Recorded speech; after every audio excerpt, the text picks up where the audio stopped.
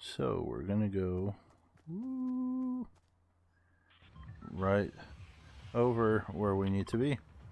It's right in there.